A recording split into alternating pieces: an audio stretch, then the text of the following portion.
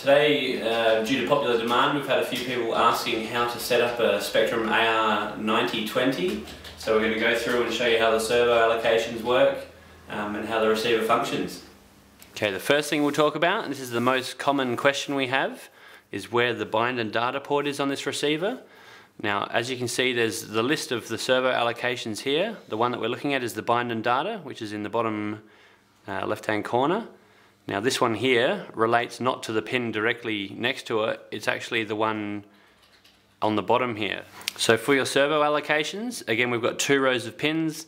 This, this row on the furthest left relates to the row on the bottom of the receiver and the row on the right relates to the top row. So you're essentially getting this list and flipping it on top of the servo or the pin allocations at the side of the receiver here. Okay, so we've got the bind plug, again bind data, on the left hand side, we're flipping it over, the left hand side, bind plug goes into there. That'll allow you to bind the receiver. Okay, the 9020, you'll notice that there is a label on this side of the receiver and there is also a label on the other side of the receiver. So you'll notice that the bind data position has changed. So we're looking at the other side of the receiver. Now that you'll notice the bind data is on the right hand side, the right hand list. So that relates to the right hand pin allocation. So that's the same for all the, the servo outs um, and they just relate directly to the pins on the side.